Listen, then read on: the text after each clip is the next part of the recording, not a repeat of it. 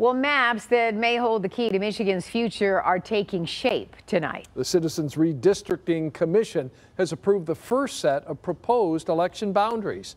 There are 10 maps in all, carving the state into congressional, state house, and state senate districts. They're drawn by the Citizens Commission, made up of four Democrats, four Republicans, and five independents. Previous districts drawn by the legislature were often criticized as benefiting Republicans. This new process is supposed to make the maps more fair. But 7 Action News reporter Faraz Javed tells us some are already crying foul.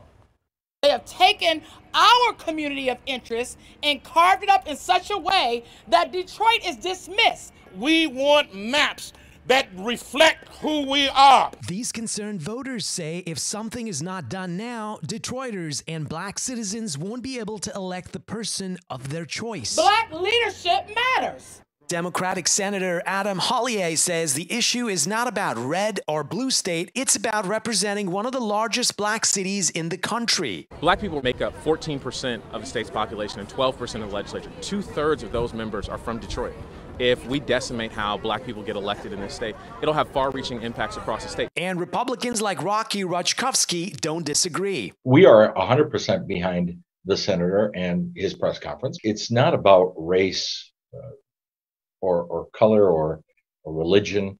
It's about communities of interest and making sure that the law is followed. So, what does this mapping process look like, and how did we get here? After being fed up with gerrymandering, voters took it upon themselves to create districts that better represents Michiganders of this decade.